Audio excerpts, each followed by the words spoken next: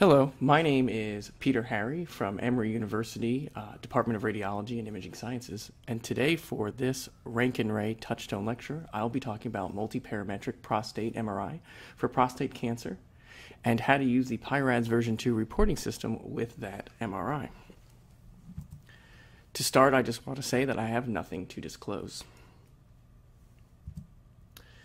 At the end of this presentation, you should be able to understand the basic principles of prostate cancer and the imaging findings that define the malignancy, be able to use standardized reporting when reporting using PIRADS version 2, and identify the imaging findings of the PIRADS version 2 lesions, every type, in the peripheral zone and the transitional zones. We're going to start with prostate anatomy. The prostate is divided into four sections. The first section is the transitional zone. The transitional zone is the area of the prostate that wraps around the urethra. This area is small in younger men, but increases in size as men age. This is the area that develops benign prostatic hyperplasia or BPH. And this is what causes the obstructive uropathy symptoms seen in men. As the BPH develops, glandular tissue forms in the transitional zone. And because there's now glandular tissue in the transitional zone, cancers can develop here.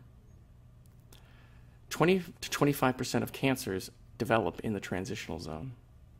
The second section is the central zone.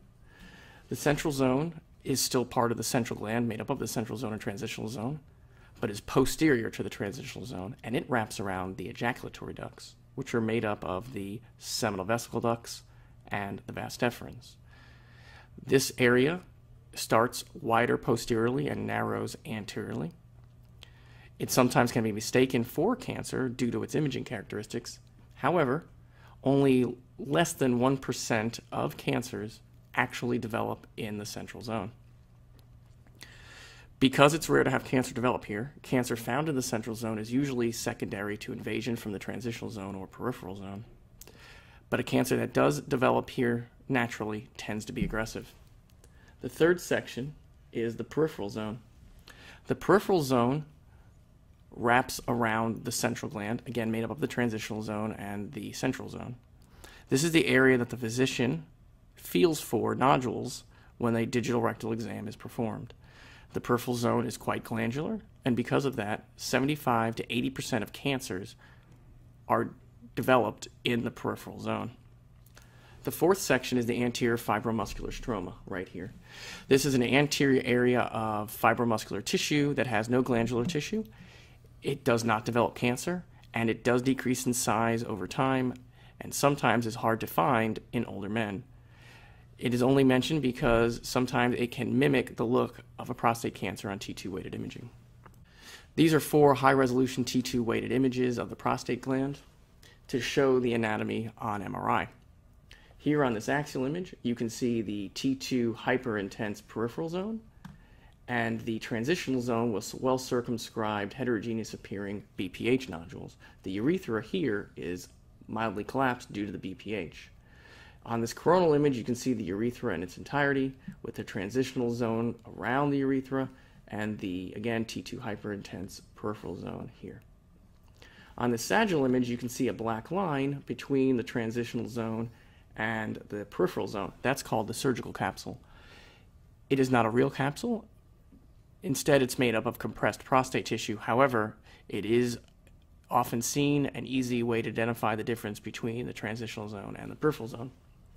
The prostatic capsule, which is an actual fibromuscular capsule around the prostate, wraps around the majority of the peripheral zone, and this is the border that's used to define extracapsular extension, which we will talk about later. The anterior fibromuscular stroma is this small black area right here. Again, it shrinks over time. And the central zone is this heterogeneous, mildly T2 hypointense area in the posterior portion of the prostate, posterior to the transitional zone. And you can see here the ejaculatory ducts coming in. Additionally, for reporting purposes, the prostate is arbitrarily divided into three sections. The cranial most section is called the base, the mid section is called the midgland, and the caudal most section is called the apex. the base of the prostate gland touches the base of the urinary bladder. In PIRADS, these areas can be further subdivided for further subclassification of the exact location of the cancer. However, for the purposes of this talk, we will not go into the subdivisions, but it's important to know the peripheral zone, the central zone, the transitional zone, and the anterior fibromuscular stroma. And as you can see, as you go down towards the apex, the central gland and the anterior fibromuscular stroma is smaller compared to the peripheral zone. Okay, so what is multiparametric MRI? Multiparametric MRI is an MRI that has multiple parameters to help define prostate cancer. It has five uses to locate lesions in patients that have not been diagnosed with prostate cancer but have a rising PSA, for full staging of a person diagnosed with prostate cancer to determine treatment strategy, for, treat, for biopsy planning, whether it's MRI guided biopsy or MRI ultrasound fusion biopsy, following patients on active surveillance, or evaluated a previously treated patient who now has rising PSA. So the first parameter that all multiparametric MRI have to have is T2 weighted images. And these should be in three planes, axial, coronal, and sagittal, as you see. And they should be high resolution T2 weighted images. This will be important for the transitional zone, as we will describe soon. The second parameter is diffusion weighted imaging. This is the primary sequence for the peripheral zone.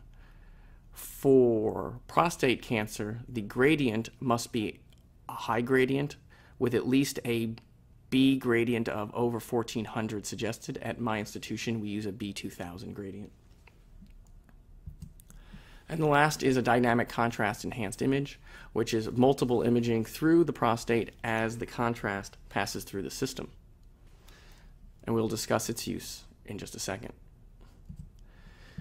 Other sequences that are not required but are can be obtained are T1 weighted pre-contrast axial images with or without fat saturation.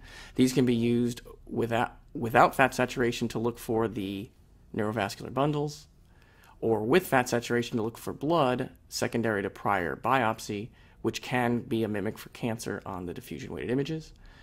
The post-contrast images can be used to look for lymphadenopathy and enhancing osseous lesions for complete staging. So PIRADS version 2 has five assessment categories, 1 through 5, with 1 meaning very low suspicion of cancer, 2 being low, 3 intermediate, 4 high, and 5 being very high suspicion of cancer. Unlike BIRADS in breast imaging, there is no definite percentage chance of cancer associated with each one of these. And in some cases, especially at our institution, PIRADS 1 is used for normal. PIRADS 2 is used for a benign lesion that has a known entity but not likely cancer. And 3, 4, and 5 used for lesions that should be biopsied. We are now going to go through the peripheral zone and then the transitional zone to describe each of these categories so you can determine what the imaging characteristics to help you define prostate lesions. And we're going to start with the peripheral zone. So in the peripheral zone, PIRADS category 1, the DWI is described as absolutely no abnormality. Here you can see the B2000 image and the ADC map. You can see that there's no increased intensity on the DWI and no hypointensity on the ADC map. Also, on the T2, you have uniform hyperintense signal throughout. And again, this is considered normal and is not reported on in most cases. In the peripheral zone, PIRADS number two is an indistinct hypointense area on the ADC map. Here you can see on our ADC map this wedge shapes and linear, barely hypointense areas throughout the peripheral zone. It can correspond to small areas of minimal hyperintensity on the DWI and on the T2, you'll see linear or wedge-shaped hypointensities or diffuse mild hypointensity that's within distinct margins. So as you can see, these correspond to these linear and wedge-shaped areas on the axial T2 weighted images. These are very low risk of cancer, and the most of the time this is secondary to prior biopsy or prostatitis, and these are often not reported on in our reports. PIRADS 3 in the peripheral zone is defined as a focal, mildly or moderately hypointense area on the ADC map, or an isointensity or mild hyperintensity on the high DWI B value. So as you can see, you have multiple focal areas of mild hyperintensity on the DWI map, but these are in the central gland, but the ones here in the peripheral zone correspond to these small areas of hypointensity on the ADC map. These are not quite that hyperintense on the DWI and not quite that hypointense on the ADC map. The T2 characteristics are a heterogeneous signal that's non-circumscribed or non-rounded. It's moderately hypointense and does not fall into categories 2, 4, or 5. So in many cases, PIRADS 3 is an area to place a lesion that quite doesn't fit two, four, or five. And as you can see, there's this mild hypointensity here in the right peripheral zone from about 7 to 9 o'clock that corresponds to this mild hypointensity on the ADC and this mild hyperintensity on the DWI. PIRADS 4 is a focal, markedly hypointensity on the ADC with a marked hyperintensity on the DWI. It must measure less than 1.5 centimeters in greatest dimension. And as you can see on the ADC map, you have this focal area that's much more hypointense compared to other areas around the prostate gland. And it corresponds to this much more focal hyperintensity here.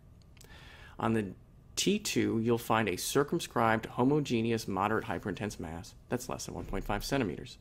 It's important to note that in the peripheral zone, the lesions tend to be more focal and circumscribed when they're cancer. This is different from the transitional zone, as we'll describe.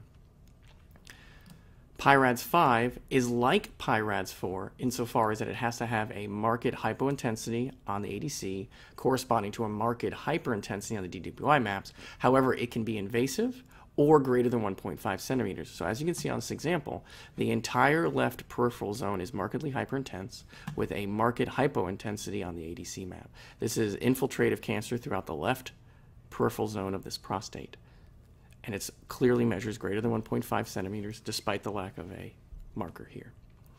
The T2 weighted image also demonstrates a focal hypointensity that is greater than 1.5 centimeters or is invasive like PIRADS 4. See here. But again, it's bigger or can be invasive, meaning going through the surgical capsule into the central gland or through the prostatic capsule into the extracapsular space. So now that we've defined what the lesions are for PIRADS 1 through 5 in the peripheral zone, we're going to talk about how you finally score these lesions. In the peripheral zone, the DWI score is the most important score. And the reason for this is that the T2 weighted images are nonspecific in the peripheral zone.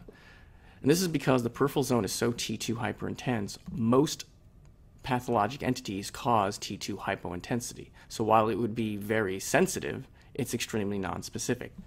However, in the peripheral zone, one of the only real things that causes restricted diffusion that also causes T2 hypointensity is cancer.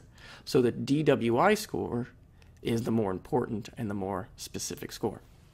So if you have scored the prostate as a 1, then the final PIRADS category is also a 1. If you've scored areas that are 2, the final PIRADS category is a 2. If you've scored areas that are 4, these focal hypointense ADC areas with hyperintensity on the DWI, less than 1.5 centimeters, then your final score for that lesion is a 4, telling the doctor a high chance of uh, probability of cancer. If you scored it a 5, then you've given a final PIRADS category of 5. The only one that has an extra step is PIRADS 3. If you've given a lesion a PIRADS 3, you must then find the lesion on the corresponding dynamic contrast enhancement images. And what you're looking for is focal or early enhancement. If that lesion has focal and early enhancement compared to the rest of the prostate gland, then it's considered positive and it gets upgraded from a PIRADS 3 to a PIRADS 4. If this lesion does not have that early and focal enhancement, then the lesion stays a PIRADS 3. And that's how you score the peripheral zone. And you can do this for multiple lesions as you see them. We're now going to switch to the transitional zone. the transitional zone PIRADS 1 score is a homogeneous intermediate signal intensity. This is normally seen in a normal prostate. Because most multiparametric MRI for the prostate is done for a patient that tends to be older and looking for prostate cancer, it's very rare to find a normal transitional zone without BPH. So finding a PIRADS 1 is rare. The DWI is normal. There's no abnormality on the ADC or DWI. PIRADS 2 in the transitional zone are circumscribed hypointense or heterogeneous encapsulated nodules, or BPH nodules. They have indistinct hypointensity on the ADC. So as you can see here in this prostate gland is very enlarged. The transitional zone has caused atrophy of the peripheral zone, and you have multiple well circumscribed, heterogeneously T2 hypo and hyperintense nodules throughout the transitional zone.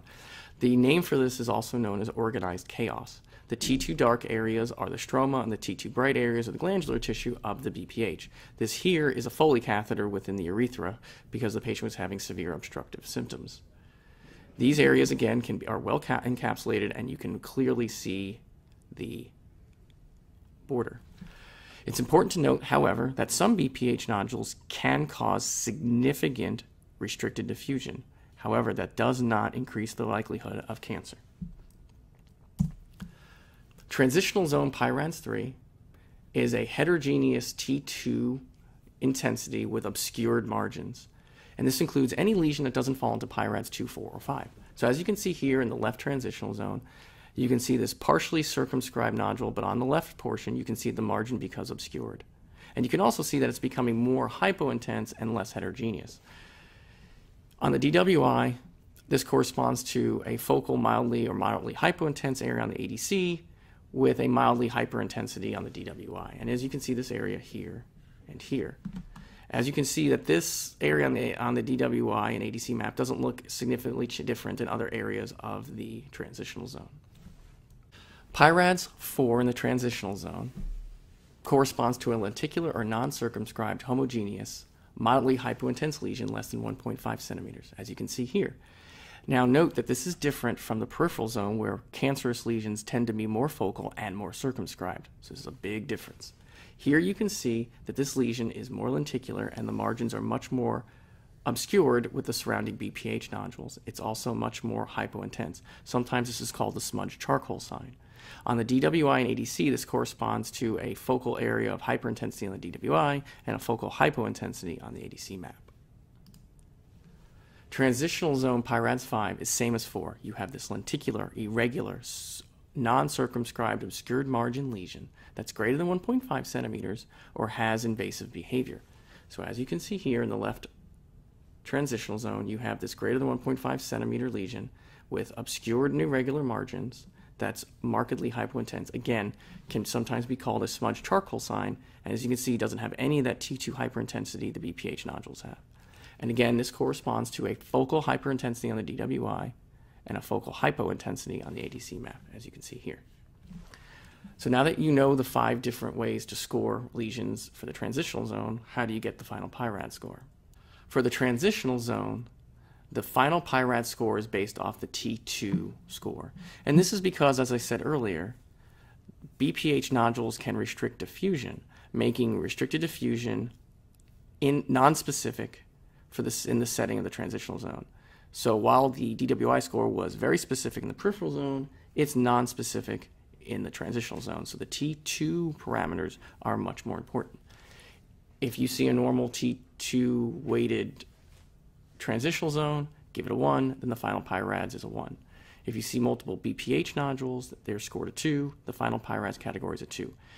Now, in our institution, not all BPH nodules are called, just the ones that may appear to the physicians as abnormal compared to the surrounding BPH nodules. Those are the ones that are usually reported. A T2 score of 4 becomes a final PIRADS score of 4, and a 5 becomes a 5. But what if you give something a 3? That heterogeneous signal that, that with some obscured margins that's not quite a 2, 4, or 5. You then look at the DWI score, which is why we talked about them. If you think the DWI score is a 5, meaning it's markedly hypointense on the ADC and markedly hyperintense on the DWI and is greater than 1.5 centimeters, then you upgrade that 3 to a 4. If it's anything less than a 5, that 3 stays a 3. We're now going to take a quick break from the imaging findings to talk about prostate cancer staging. This is important because MRI is helpful for staging. However, it cannot help the physicians determine if the lesion is a T1 or T2 lesion. And that's because, by definition, a T1 lesion cannot be felt by the physician or seen on transrectal ultrasound. Again, something MRI can't determine. A T1A is found accidentally on a transurethral section of the prostate in less than 5% of the tissue. T1B is the same thing except greater than 5% of the tissue. And a T1C is found on a needle biopsy purposely done for a rising PSA.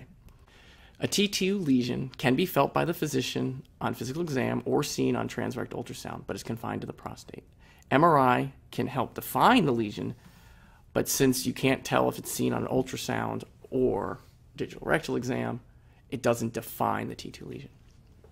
A T2A lesion is seen on less than half of only one side of the prostate. A T2B lesion is on greater than one half of only one side of the prostate. And a T2C lesion is seen on both sides of the prostate gland. Now, a T3 and above lesions, this is where prostate MRI is helpful because this is looking for cancer beyond the prostate. So a T3 extends beyond the prostate T3A extends into the periprostatic fat or neurovascular bundles, but not the seminal vesicle. A T3B extends into the seminal vesicles, and a T4 grows into the neighboring organs, except the seminal vesicles or the pelvic wall. And this is what you are looking for on your MRI. For lymph nodes, an N0 means there's no lymph nodes that are involved. N1 is cancer is spread to the local lymph nodes, and we're going to define those in just a little bit. And M0 is spread beyond the local lymph nodes. So an M1A is cancer spread to distant lymph nodes. Again, we're going to define this shortly. And M1B is cancer to the bones. And an M1C is cancer spread to other distant organs with or without osseous metastases. So let's talk about extracapsular spread of disease. It can extend with or without neurovascular bundle involvement into the seminal vesicles or into adjacent organs. So here we have an axial two two-weighted image with a lesion in the peripheral zone here, this marked focal, well circumscribed hypointensity. But as you can see, the prostate capsule is here, and suddenly it's lost. And you can see this cancer spreading and involving the neurovascular bundles. So this is what you're looking for. Now, this lesion does extend into the pelvic wall and would be upgraded to a T4. However, for this example, we're just pointing out the neurovascular bundle invasion. And the neurovascular bundle are these small dots right here. The other side, they're right here. As you can see, there's fat around them and they're normal, but on this, the cancer has spread into them. So the signs you're looking for is a bulging prostate capsule, the capsular breach with direct extension, asymmetry of the neurovascular bundles, or obviously tumor encasing in this case. Seminal vesicle involvement upgrades the tumor to a T3B. And what you're looking for is loss of the normal architecture of the seminal vesicles, direct tumor extension from the base into the seminal vesicles, and T2 hypointense signal with restricted diffusion. So as you can see here on this coronal T2 weighted image, here's the apex of the prostate and the base. You can see this T2 hypointense focal mass growing from the prostate gland into the right and left seminal vesicles. You can see the same thing on the axial images with this mass that does restrict diffusion growing into the central seminal vesicles here. And again, this is T3B. T4 is involvement of the adjacent organs. Again, the bladder, the rectum, the pelvic wall. And this is an example, as you can see on this coronal weighted image, of a central gland or transitional zone tumor here, this obscured margined, irregular, hypointense lesion growing cranially into the bladder. And as you can see, that the, the black detrusor muscle is invaded here. This is the axial image showing the invasion of the detrusor muscle here. And as you can see, again, because this is cancer, it does have focal diffusion restriction here. So again, you're looking for direct extension, hypointense T2 signal, enhancement, and restricted diffusion. We're going to talk about the lymph nodes. Here you have to look at the size, the shape, and the internal architecture. But unlike most lymph nodes in the body, where we use a 10 millimeter short axis cutoff, a 6 millimeter short axis cutoff has resulted in a sensitivity and specificity of 78% and 98%, excuse me, 97% respectively. Now we're going to talk about lymph node metastases. You have to look at the size, the shape, and the internal architecture, whether they've lost their reniform shape, their fatty hilum, and again, the short axis. However, unlike most lymph nodes in the body, instead of using 10 millimeters, we use a 6 millimeter cutoff because that resulted in a sensitivity and specificity of 78 and 97% respectively. And it's also important to know what a regional versus a non regional lymph node is because this determines N1 disease versus M1A disease. So let's talk about the regional lymph nodes. Regional lymph nodes are defined as external and internal iliac lymph nodes. This upgrades to N1. As you can see, we have a rounded lymph node with abnormal architecture that's greater than 6 millimeters along the external iliac vessels. Another example here in a different patient shows a similar type of lymph node that's enlarged along the internal iliac vessels on the left.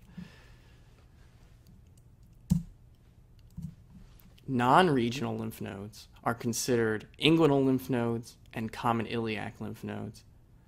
So while these still are in the pelvis, technically they are considered distant metastases because they are not normal or they're not the first drainage areas for prostate cancer. Now, there are no abnormal lymph nodes on this example, but again, I'm just showing the area of the inguinal lymph nodes and the common iliac lymph nodes here. And again, this is M1A disease, not M1 disease. Finally, we're going to talk about osseous metastases. This upgrades the cancer to an M1B. And what you're looking for enhancing lesions on the post-contrast T1 weighted images. Here you can see we have multiple enhancing lesions in the iliac bone on the right now, all prostate MRI does not cover the entire skeleton, and sometimes a nuclear medicine study can be ordered if you're looking for diffuse osseous metastases. I appreciate you listening to this talk, and I hope that you are able to now use PI-RADS V2 to describe lesions throughout the prostate gland and have a structured report.